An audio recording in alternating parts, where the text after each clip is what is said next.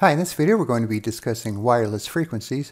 So you've probably heard of these before uh, when you're connecting to a wireless hotspot either at home or at the coffee shop or even at school. And you may have seen that there's an option for 2.4 gigahertz and a 5 gigahertz. Even on your home router, you'll usually have the option for both.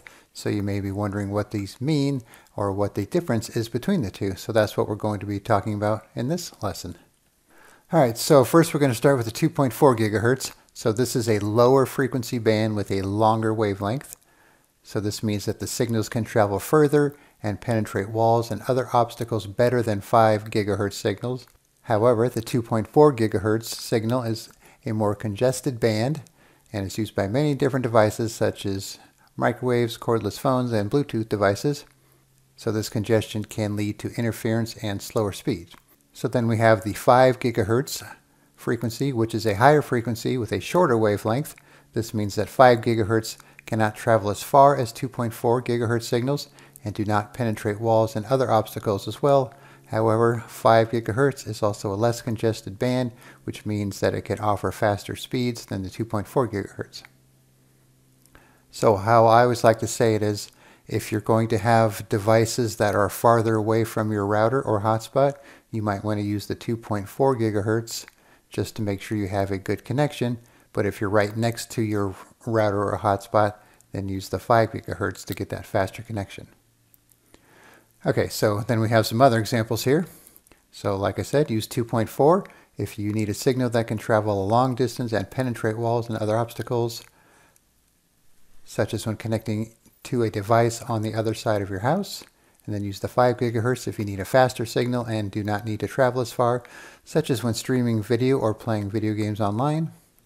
And then also use the 5 gigahertz if you need to connect a device that is not compatible with the 2.4 gigahertz, such as some smart home devices. Alright, so now we're going to take a minute and talk about the different wireless standards. So you've probably heard of these as well. So as we go along with time here, you can see that the speeds of each of these standards is starting to increase. And you might have heard of some of the terminology like we see down here, such as the 802.11g standard. So this applies to the Wi-Fi 3 standard with the 54 megabit per second speed, and that was released in 2003. So right now, as of this video, uh, we're using Wi-Fi 6, 802.11ax. Came out in 2019. And you can see we have a much faster speed than the previous generations. So of course your router is going to have to support this standard and then the device that you're connecting to is also going to have to support that standard.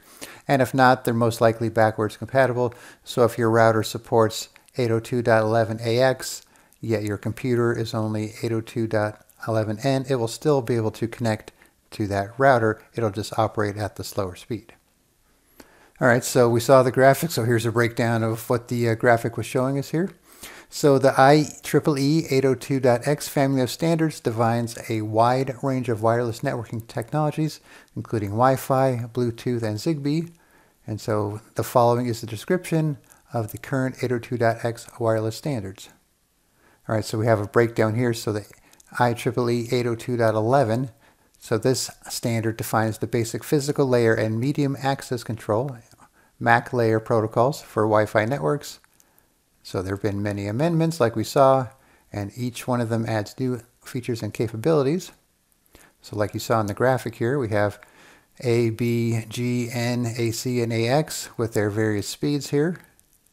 And you can see, for example, 802.11n operates in the 2.4 and 5 gigahertz frequency bands with a speed of 450 to 600 megabits per second, all the way up to the uh, current one here as of this video, operating at 9.6 gigabits per second, known as Wi-Fi 6.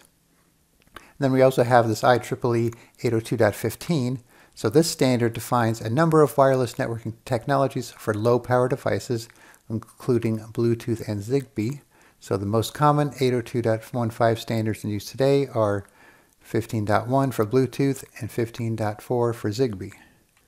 So if you don't know what Zigbee is, it's a, uh, wireless mesh network protocol used for many purposes, such as home automation, uh, smart energy, uh, retail situations, industrial controls, medical data collection, and remote wireless microphone configuration.